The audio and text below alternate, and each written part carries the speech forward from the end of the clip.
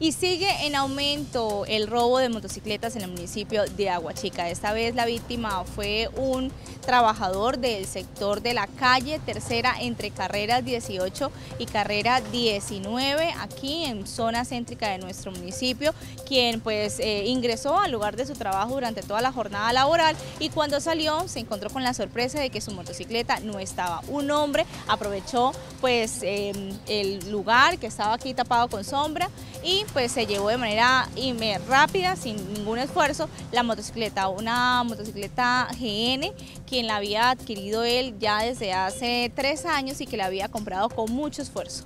Yo colocaba siempre la moto todas las mañanas, la colocaba acá y ya tenía seis años de tenerla, de estarla colocando acá, pues, como, como siempre, pues, como allá se hace mucho el sol, antes siempre la colocamos acá. Acá colocamos cuatro motos.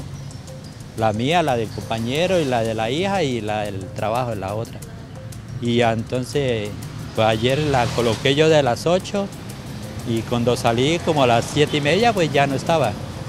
Ya me la habían, eh, ya se la habían llevado. Pues eh, agarró una, enfocó una, una sola partecita nada más, pero no se enfoca toda el, de todo el frente. Como dice el señor Freddy, ahora pues le toca ir hasta su vivienda en Villa Victoria, que es bastante lejos, es al sur del municipio de Aguachica, porque por el momento no tiene los recursos para poder comprar pues otra motocicleta. Es una persona pues que tiene un salario mínimo y que pues tiene también que sostener a su familia. Pues sí, pues ahorita pues tocará que transportarme a pie porque yo vivo en Villa Victoria y salgo de aquí a las 7 pues el cuñado me lleva hasta la casa de él, hasta Romero Díaz.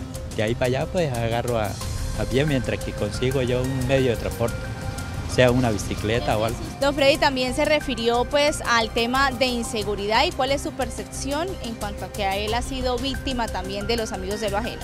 No, pues eso está muy terrible porque con tanto sacrificio que hace uno para tener la cosa para que llegue otra persona y se la lleve fácilmente. Eso esa persona tiene que ponerse a trabajar también como uno lo hace esa persona también tiene que sudarla también, pero ellos lo buscan es todo lo fácil.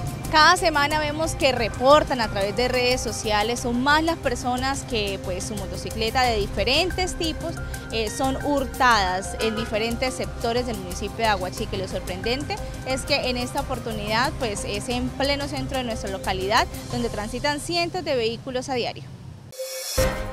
Somos Mi TV Noticias. Informamos con independencia y calidad.